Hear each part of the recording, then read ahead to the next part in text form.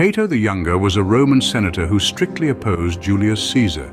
He famously said, the wise man is not afraid of death. Well, I wonder what he thinks about death now.